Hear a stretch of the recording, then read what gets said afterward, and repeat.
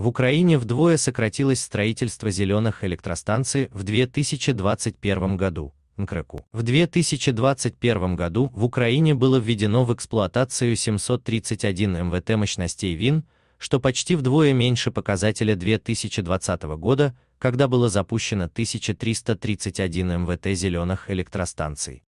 Об этом сообщает РБК Украина со ссылкой на расчеты Национальной комиссии, осуществляющей регулирование в сфере энергетики и коммунальных услуг НКРКУ.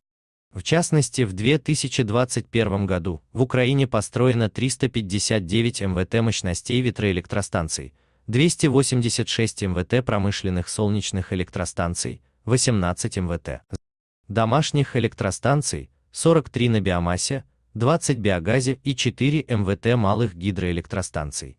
Кроме того, сообщается, что в декабре 2021 года в Украине было введено в эксплуатацию 22 МВТ мощностей зеленых электростанций, что является наименьшим показателем за весь год. Общая мощность зеленых электростанций в Украине на конец 2021 года составляет 8451 МВТ. Напомним, на протяжении 2021 года в Украине продолжалась проблема выплат за произведенную зеленую электроэнергию.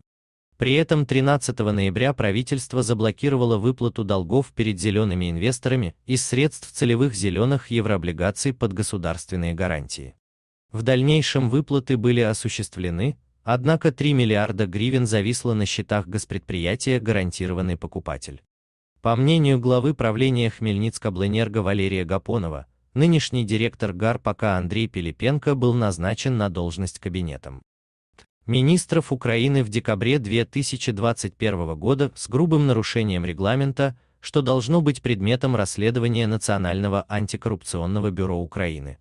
Ранее глава рабочей группы ВСК, нардеп Валентин Наливайченко сообщил, что рабочая группа Временной следственной комиссии Верховной Рады по вопросам кризиса в энергетике установила конфликт интересов и факты возможной коррупции в действиях и руководителя государственного предприятия.